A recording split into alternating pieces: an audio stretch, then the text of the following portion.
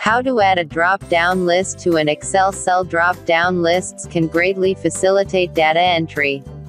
Here's a look at how to use Excel's data validation feature to create handy lists within your worksheets. In Access, you can limit user entries by forcing users to choose a value from a list control.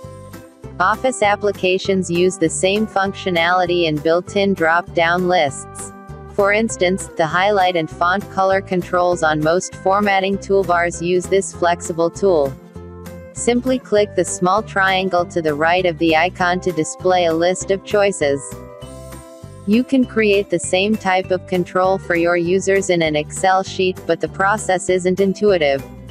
The option is in the data validation feature.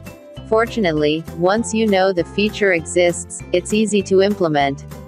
You need only two things, a list and a data entry cell. The following sheet shows a simple drop-down list in an Excel sheet. Users click the drop-down arrow to display a list of items from A1, A4. If a user tries to enter something that isn't in the list, Excel rejects the entry.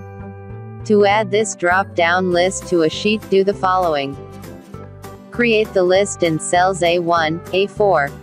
Similarly, you can enter the items in a single row, such as A1, D1. Select cell E3. You can position the drop-down list in most any cell or even multiple cells.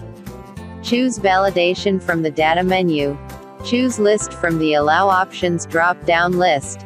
See, they're everywhere. Click the source control and drag to highlight the cells A1, A4. Alternately, simply enter the reference, equals $1, $4. Make sure the In Cell drop-down option is checked. If you uncheck this option, Excel still forces users to enter only list values, A1, A4, but it won't present a drop-down list. Click OK. You can add the drop-down list to multiple cells. Select the range of data input cells, step 2, instead of a single cell. It even works for non-contiguous cells. Hold down the Shift key while you click the appropriate cells. It's worth noting that the drop-down arrow is visible only when the cell is active.